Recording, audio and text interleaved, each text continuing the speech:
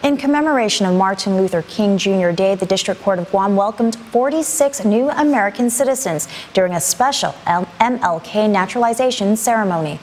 Waving their American flags proudly in the air, individuals hailing from the countries of Japan, Thailand, the Philippines, and South Korea were naturalized. About 42 of the new citizens came from the Philippines.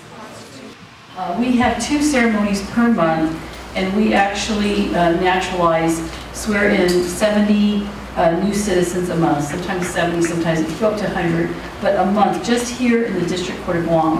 And you can imagine Los Angeles has thousands, it's a little bigger city. But, um, but I honestly, in every ceremony that I've performed, I've uh, presided over, and, and this is, been, I've been a judge here in the federal court for 11 years, the Philippines always has the most number when I, when I was teasing you about, you know, singing, because I know you like to sing, a lot of Filipinos are very good singers. That's why I was asking to join in the singing. But I need to have all 42 of you please stand.